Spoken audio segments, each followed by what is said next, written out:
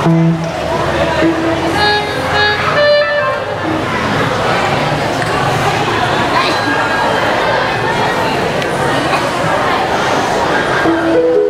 brothers and sisters, are you ready to feel?